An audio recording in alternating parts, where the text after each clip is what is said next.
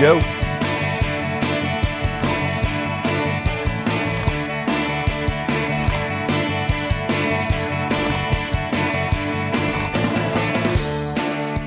I've been here in Hendersonville in this studio for about six years, just a few months shy of six years. Uh, we bought this uh, uh, old house here and converted everything in, on the inside of the house to the office space and production areas and things like that, and re-landscaped the yards, uh, the yard, and um, uh, built a pond. We have a koi pond. We have a window light area. We have uh, this studio where it's all controlled lighting, and um, a lot of the architectural and, and features that are around, uh, that make the house are actually what we've used to photograph, and, and it just looks very natural.